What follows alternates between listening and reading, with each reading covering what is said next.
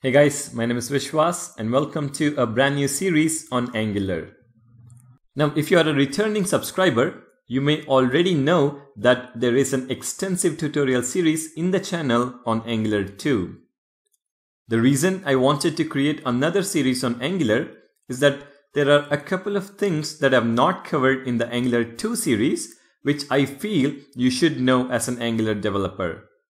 Also, as you may know, as of November 2017, Angular is now Angular 5 and there have been some changes as well. So in this video, we're going to have a brief introduction to what Angular is and why you would want to learn Angular. We will take a look at the history of Angular and whether you should learn Angular with all the version changes that you see right now. I also want to discuss whether this series on my channel will be useful to you in the long run. So let's get started. Angular is a framework that is used to build client-side applications. And it is especially great for building single-page applications where parts of the view get refreshed asynchronously without having to reload the entire page. So any application that relies heavily on JavaScript, Angular is a great choice. Now, why learn Angular as opposed to some other JavaScript framework or library? Now, there are a couple of points. The first one is that by design, Angular promotes modular approach and hence the application you build will have a clear structure.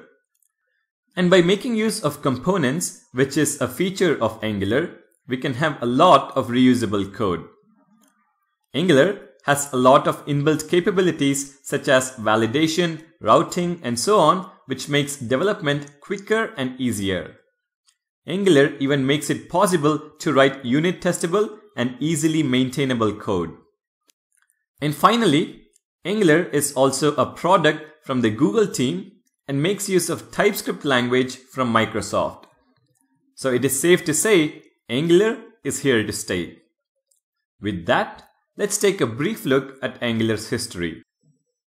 The first version of Angular, which is popularly known as AngularJS, was released in 2010.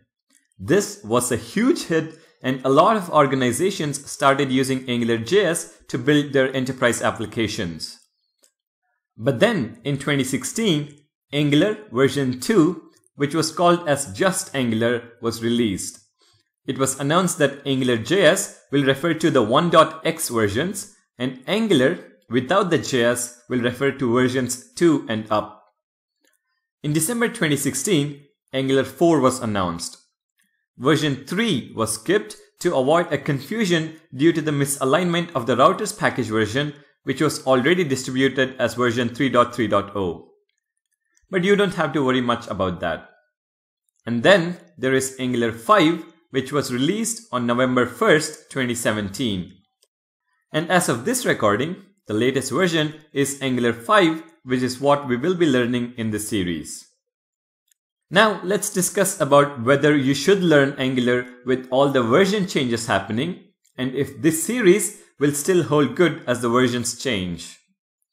I've seen comments like, I didn't even get to Angular 4 yet and there's already Angular 5 and I'm pretty sure that this is a concern with a lot of us. So let me clear things out.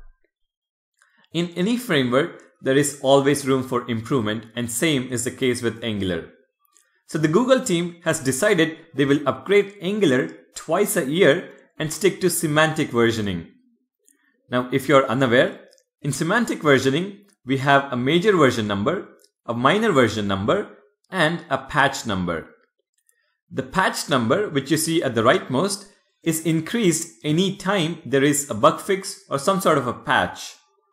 The minor version number increases when there are added features that don't break any functionality. The major version number, which you see on the left hand side, changes when there is a break in any of the functionalities. And since Angular will be upgraded twice a year, you can see that the major version number changing twice a year as well. In fact, Angular 6 is planned for April 2018 and Angular 7 for October 2018. But you don't have to worry because the Google team has told that these versions will be backward compatible.